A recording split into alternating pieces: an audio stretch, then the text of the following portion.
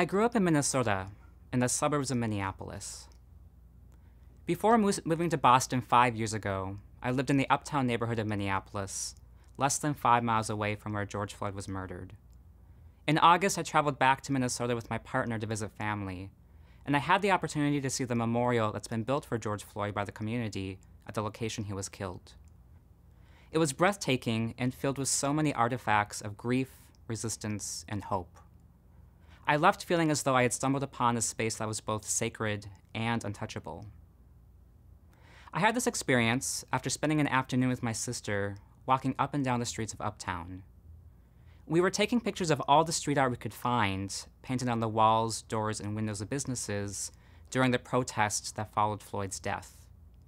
Almost everywhere we looked, we found a mural painted on every available surface, and much of this art persisted even months later.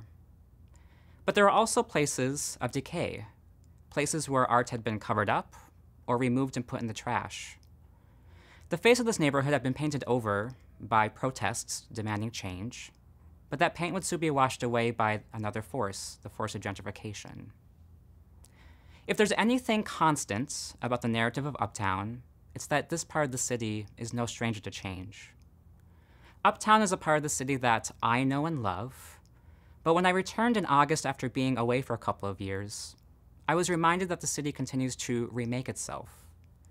But this time, it felt like something seismic was occurring beneath the surface. Although gentrification has dramatically transformed the neighborhood, the voices displaced by that transformation have reclaimed the neighborhood for themselves in astonishing ways. For example, in this part of the city, there is a lake. And this lake is the defining landmark of my own emotional connection to the city. Up until I moved to Boston, that lake was named Lake Calhoun. But in 2018, it was renamed to Bde Maka Ska to honor the Dakota lands it's located on and to reject the original name's connection to slavery. Walking around the lake again in August, I could sense that this body of water that had grounded my own experience living in the city now existed in the public imagination in a way that felt different from what I remember in 2015. All around the lake, art installations have popped up to honor the area's Dakota heritage. And it felt like a different place, although at the time I couldn't articulate exactly why it felt different.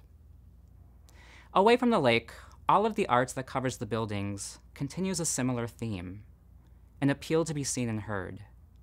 But while the new name of the lake is here to stay, the art that's painted up, up and down the streets will disappear with gentrification. And it's for this reason I felt compelled to document as much of what is still there as possible to ensure that these expressions of trauma and resistance can be preserved before being displaced by the flow of time. My compulsion to document this art didn't start with the art itself. It started with a kernel of something else that's deeply embedded in who I am and the work that I do. And that is a sense of responsibility I feel to use my creative practice of data visualization for the act of witnessing. I am a designer of data, and my practice mandates that I steward my capacity to see in a way that renders visible that which is kept invisible. Documenting this art, I wanted to use visualization to show how the resistance embedded within it was constellated over space and time, and to reject the narrative of change that would soon erase it all from history. And I wanted to use my work in design, the window through which I understand the world, to declare that I see and bear witness to the trauma that has been racialized and rendered invisible in Minneapolis and beyond. This process of documentation was a reminder that as human beings, we have been endowed with unprecedented control over the act of seeing. This is one of our greatest affordances of our modern existence, but it's also one of our greatest privileges. Our technologies have re engineered what it means to encounter the world and document those encounters to share with other people. And with this, there are now many different ways we can use our eyes. We can look, we can view, we can watch, we can monitor, either synchronously in real time and space or asynchronously through our technologies of convenience. Through these modes, we consume the world in greater detail than ever before, offering us access to new levels of experience we previously never knew existed. But even though we can now consume the world with our eyes in more ways than ever before, I can't help but feel we become comfortable with those forms of seeing that require the least of our attention. And this, I think, is a key part of that thing I couldn't articulate when I was in Uptown that something had changed. The reclaiming of Dakota heritage and the art affirming that Black Lives Matter, they weren't passive statements. They were desperate pleas to be seen and heard through a window that in recent times has framed the narrative of the community purely as a story of gentrification. They were reconfigurations of the civic imagination of this neighborhood, thrusting those who have been kept invisible into the public consciousness by appealing to the eyes. It's in this recognition that my practice comes in. I visualize data, and through visualization, I study the windows that shape how we see the world. And through my work, I've come to notice that we seem to be less and less aware of the many different ways we see with more than just a pointing of the eyes. For example, listening is a form of seeing, but with the ears instead of the eyes. We can re read and interpret a text, like a passage of a novel or a poem, and we can notice and observe subtle shifts in body language. We can choose to see through physicality, such as when we embrace someone we love, or through empathy, like when we offer our condolences for someone's passing. Each of these acts is a different window through which we see. And through these windows, we are privileged with the ability to calibrate the scope of our attention, how far we see, and for how long. These different ways of encountering the world come with the burden and responsibility. It's no longer sufficient to just see, because sometimes we see too much or we see things we don't expect or want to see. When this happens, we are challenged with the burden of not only controlling what we see, but also with the burden and responsibility of performing that seeing with care. And this gets tiring.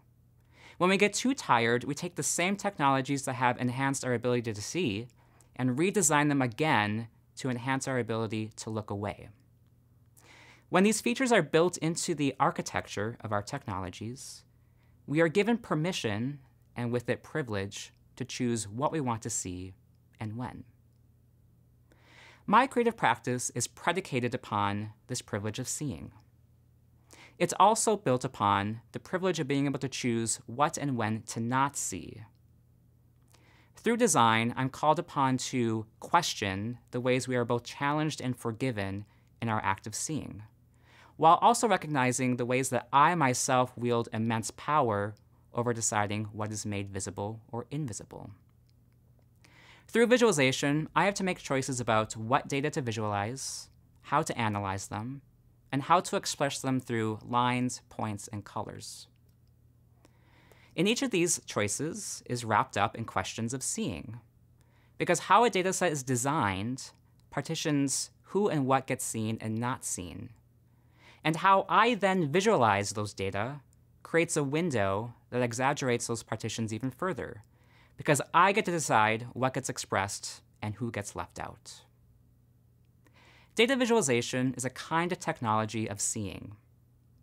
I want to use that technology and the privilege that comes with it to elevate ways of seeing that are intimate and generative. But in acknowledging my own responsibility towards seeing as a creator, I've also become even more aware of the responsibility we have as viewers towards the same act. As viewers, our relationship with seeing seems to bend more and more towards technologies that prefer the distant and the abstract. The most familiar of these are social media platforms.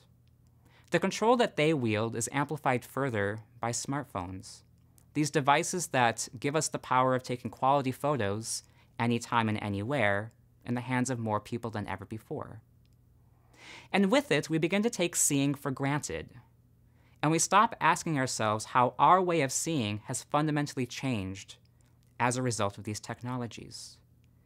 And when we start taking seeing for granted, there arises a dangerous disregard of collective responsibility. To use the simple act of seeing as a means of affirming the humanity of ourselves and other people. In this moment, we are heaving in crises of many kinds. One of these is a crisis in seeing. Many of our new ways of seeing are no longer reliable. Entire identities have been displaced throughout history as a result of explicitly not seeing, recognizing, or acknowledging. In the midst of this crisis, we are called upon to see in a more radical way, to witness, to attest, to look in the direction of what we've been given permission to look away from. And in this moment, we must arise as responsible witnesses and acknowledge that those of us who have been privileged the most by an enhanced ability to see are responsible for the failures of visibility that have brought us to where we are now in this time. As witnesses, it is our responsibility to reclaim for ourselves the same technologies of seeing that have enabled us to look away. These are the windows through which we relate to the world.